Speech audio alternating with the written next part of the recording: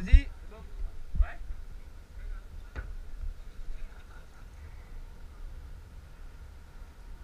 Pourquoi il va là-bas, lui? Il a rien compris.